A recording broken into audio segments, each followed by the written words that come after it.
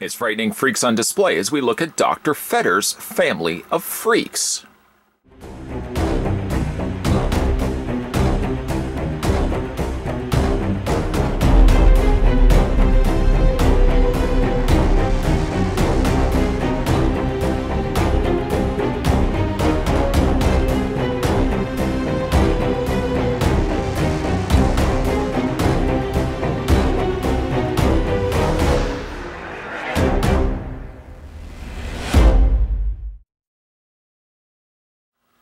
This collected collection of created creatures comes to us from Clive Barker's The Infernal Parade Series 1.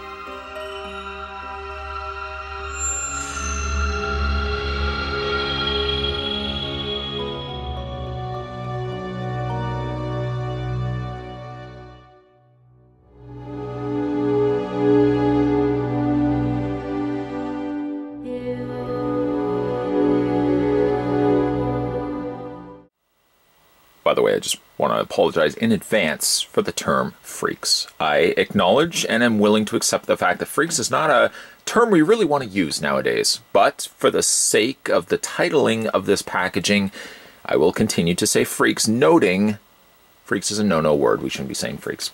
That being said, let's find out how big Dr. Fetter's family of freaks is. I'm so sorry. I know we shouldn't be using freaks.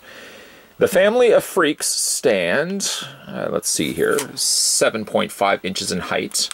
And in centimeters, you're looking at 19.1.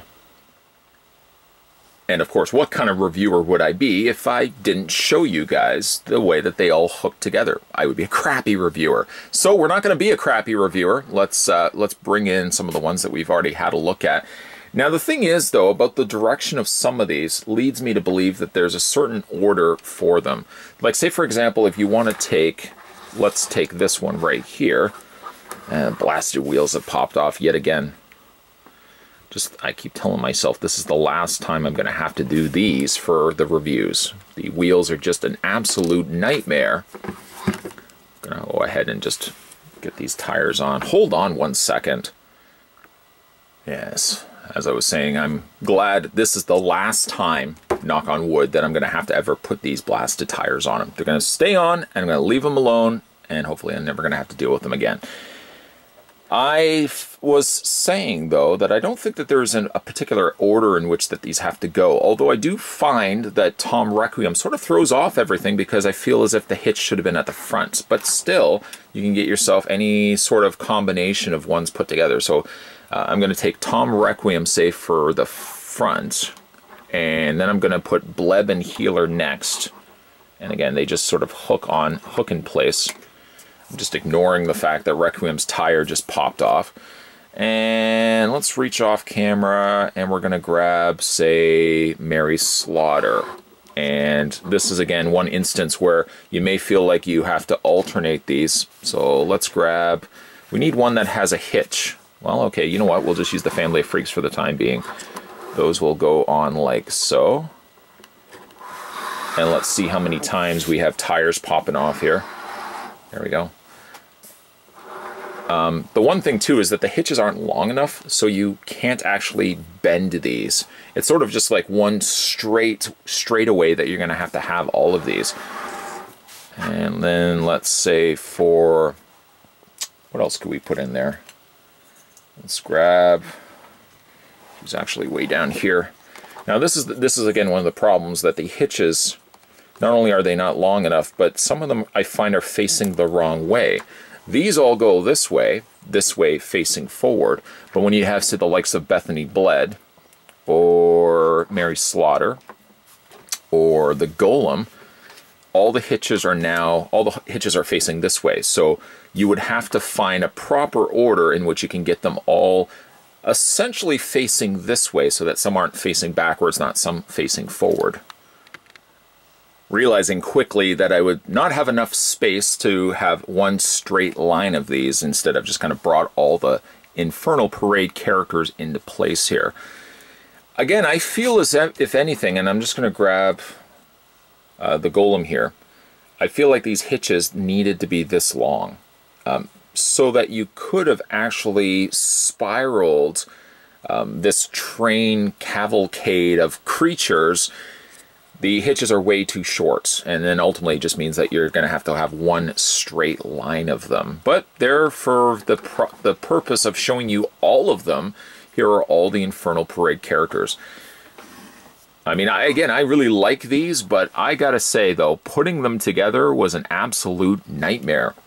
My personal favorite, even though we technically haven't even looked at Dr. Fetter's Family of Freaks yet, I think my favorite, one of my favorites might be Bleb and and Healer, and I really also like Mary Slaughter. I like the I look the look of having things impaled in her, and she's sort of being suspended like that. But as you can see, and as I've mentioned in the previous review, all of them are very unique to one another. There's not a single one here that looks the same as the other. Perhaps the Tortured Souls line was sort of more closer to carrying and borrowing of ideas. In the case, though, here of the Infernal Parade, you're something very different here. Each one of these are very different, and each appealing in their own little way. To say, though, that these figures have been a test of my time and patience is an understatement. But we're not going to talk a little bit, we're not talking anymore about the assembly of putting these together because I feel as if I've beaten a dead horse. I'm not going to mention again that I was frustrated to put these blasted wheels together. Nope, not going to do it. Not going to do it. I'm not going to say it. I'm not going to touch base on it. What I am going to touch base on, though, is a nice finale to the Infernal Parade reviews that we've been looking at on this channel. Here we have Dr. Fetter's family of freaks. So in theory, you're getting not one, not two, but three different individual figures. Although this one right here is not so much a figure as it is just a head. Standing atop of this really neat looking uh, a cart, again, which is really that not that much different from the ones that we've looked at before. You've got the markers on both sides indicating exactly what they are. And uh, I do like that. The assembly, and I'll touch very, very quickly on it. The assembly really only involved putting the wheels on. Not going to talk about that. Oh, not going to do it.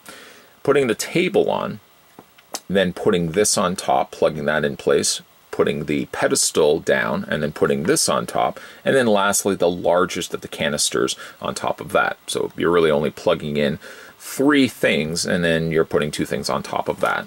What you're really getting, though, is a neat looking setup. Gruesome, yes, I will say. Very admittingly, I would say it's gruesome, but it's a neat looking setup. Each one of these canisters is filled with a unknown liquid. I would be willing to guess water, but it could also be something else in there so that it just doesn't develop like a, a gross slime on the inside. I would advise that if you ever opened one of these, do not drink it. I know that kind of goes without saying, but as a reviewer, I feel the responsibility to tell you guys do not drink anything that you see inside of an old figure toy uh, toy line, which I think was dated from 2004. So it's about 14 years ago that these figures came out. These would be like the furthest end of the scale of calling them figures, even though really anyone could debate the fact that McFarlane toys aren't really classed as figures to start off with. But these are really the furthest from that, the lowest on the totem when it comes to figures, because there's really nothing to them. There's nothing you can pose to them. There's nothing you can move. You can't really even open these.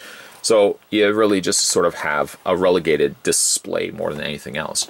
I'm going to go ahead and take this one off, and we'll look at these individually. You can see how it attaches underneath there. There's this, the opening hole, and then that just plugs into the top there. Here we have a head. It kind of looks like it's part cow, part humanoid. It looks like, I believe it's Yak Face. 100% certain Yak Face from Star Wars, just in a slightly different shade. You get one half of it, and I'm willing to guess if this is symmetrical that this animal would have had three eyes. As you can see, there's an eye in the middle and there's an eye on the side. You can't see this eye, however, because you got a half sliced, um, you know, internal workings of what the creature would look like. So his head would be cleanly taken right off. Uh, it's a nice opportunity, though, to see kind of how the animal would have looked if it was living, moving around freely, going about its day. But instead, what we're looking at is just its human uh, just its decapitated uh, head here. The liquid uh, doesn't go obviously all the way, it goes only about two thirds of the way up. It sort of moves like it's not water, almost as if it could have been like oil, like a baby oil, because baby oil is a little bit more dense. Um, it does also have a cap that takes that falls off. I wanted to remove it myself, but it popped off inadvertently. But this comes off, but there's a stopper on the inside, so that liquid ain't going anywhere. Whoosh. You would hate to get this immediately out of packaging and not be aware that this comes off and then it falls off and you immediately dash for wherever this fell. Still, that being said, I would be careful not to drop this because there's a seam line right around here in which the two halves have been put together. Clearly, if you drop this on a hard surface, there's that potential that that could crack and whatever the liquid insides would be would go everywhere and people would be upset that you've damaged their carpets, their floors, whatever. But there you have the head. Again, it kind of looks like yak face. Very gruesome. And uh, we can go ahead and put that back right on there. Just like that. Moving along is this little small chap. I don't even know what's happening here. I get that there's more than one thing that has been spliced together because as you can see there is one head on that side and then there's another similar head on this side and they're not quite sharing one eye, but instead one dominant eye here and a smaller eye kind of making up the same rental space. What's happening though is this weird amalgamation though, where you've got the legs of one of the creatures kind of growing their way up in the opening, the groin area of the creature, and then the legs are kind of leaning up and pressing themselves against the tummy. I'm assuming this is all one, you know, one human or some human hybrid. And again, they probably tried to splice two things together to give us this. The liquid is much more drained in this instance. I don't know if it would continue to dehydrate. I don't know if eventually you would see this down the road and there would be absolutely no liquid, nor would I think that maybe at some point there could have been more liquid and it simply has just kind of dried out over the course of time. But uh, as it goes, there's very little liquid in there, slightly more discolored, a little bit more on a murkier coloring. But it seems to have a little bit of a thicker density to it than that of water, so I would lead to believe that it's it's not water inside, but instead probably like a like a like an oil, like a baby or mineral oil, I guess. Uh, two pegs, two holes, I should say, on the underside, and there's the plug stopper. Make sure you don't remove that. Oh man, that's going to go everywhere. And mom and dad probably aren't going to be very happy with you. This one's a little trickier to get in place because you have to line the holes up exactly uh, to the pegs for that to sit in place. And then lastly, we've got this one right here. Oh, stay, stay tires, don't pop off on me, please, whatever you do. This is sort of like a larger version of the one that we just looked at. Here, though, however, it looks like there's two distinct life forms. And I can't tell whether they've been trying to separate them or whether they were actually grown this way. But uh, definitely distorted, definitely an abomination of a creature. Um, this one is not, it's, it's not loose, but you can see where it's been pegged underneath. Um, the real stinkeroo, though, is if this game detached from the peg, you definitely wouldn't want to be shaking it, but if it came loose, you would just have this thing rattling around on the inside. There really wouldn't be anything stopping it. Speaking of stopping, you've got a little stopper on the underside. Don't touch it. No, no, no, no, no. You want to. Don't, no, no, don't touch it. Don't touch it. And then there's a little hole right there, which again, that pegs into place. This one has a lid. The lid isn't removable. Probably a good thing. This lid also isn't removable. Probably a good thing. So really the only thing that actually has a removable part is this one right here. Would you call that a decanter? Or is that more so just for wine? I, I don't know. I don't think when it comes to making freaks, we're going to get all that technical with the, the canisters in which that are holding the freaks. Again, I just want to stress again, saying freaks is not a good word to be using. You don't want to be using freaks in your everyday conversations. Unless you're dealing with somebody who is legitimately a lab-grown freak, like if they're, you know, part squid and no, even even then, no. Even then, you, you don't want to be calling them a freak. Who knew that reviewing the Clive Barker Infernal Parade figures would be as much of a nightmare as the creatures themselves? Putting these things together, I don't know. I, I don't think I'd want to do that ever again. But I do it for you guys, the viewers, and I hope you guys have enjoyed it. This is a line that I've wanted to cover for a very long time. In fact, I wanted to have a look at this line about two years ago, and for one reason or another, I just never got around to it. It probably worked itself out better that it didn't end up happening, because now with the better lighting and better camera, we hopefully, or hopefully I've been able to present these a little bit better than I might have been able to do, say, two years ago. These are fun looking figures, and by fun, I mean in their grote grotesque, mutated states. These have still been fun figures to have a look at, and I know I've said that probably at nausea, but despite for the fact that putting these together have just been a real pain in the butt, I've enjoyed this toy line a little bit more than I think I've enjoyed some of the other lines. Um, comparing these, say, to the Tortured Souls, for example, I found a lot of consistencies with the Tortured Soul figures. Figure to figure, after a while, they sort of just felt like they were all the, so the same sort of designs. Here, on the other hand, with the Infernal Parade, every single figure that I've looked at in this in this lineup, if you will, have all felt very different from one another. Speaking of different, the in the Dr. Fetter's family of freaks what I do like about this setup is that they're all very different from one another.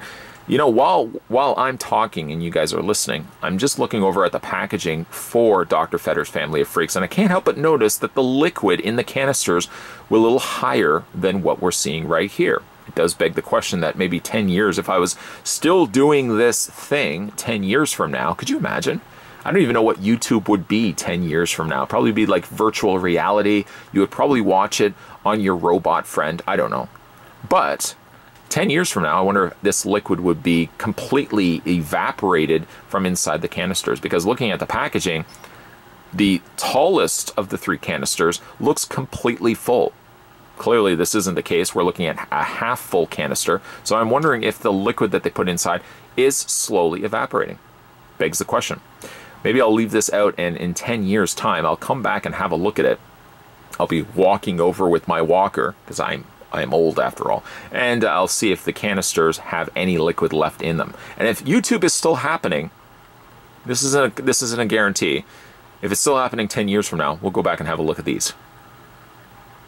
The, the thing is, nobody's going to remember. I could say I could say that, and nobody's going to remember this. Nobody's going to say 10 years from now, hey, wait a minute, you told us that you were going to have a look at these canisters. You're a total fipper face. And I'll be flying away on my jetpack. You guys will never see me again. Jetpack! Either way, today's spectacular review, we were having a look at the final figure from Clive Barker slash McFarlane Toys, the Infernal Parade. Again, they class this as Series 1, as far as I know, there was never a Series 2, so I guess the line didn't do well, or maybe Clive Barker or McFarlane Toys moved on to bigger and better things. Although I think this is as good as it gets. This is one of the better lines of the horror lineups that McFarlane Toys has done, in my honest opinion. Either way, even though some sad news that we're finally wrapping up this these series of videos, I'm not sad the fact that I don't have to put any more of these stupid tires on. Oh, hate those things. But don't worry if you're sad that this is the end of Spooky Spots. No way, man. No way. There's still a whole lot happening for the rest of this month of Spotober. I know about it.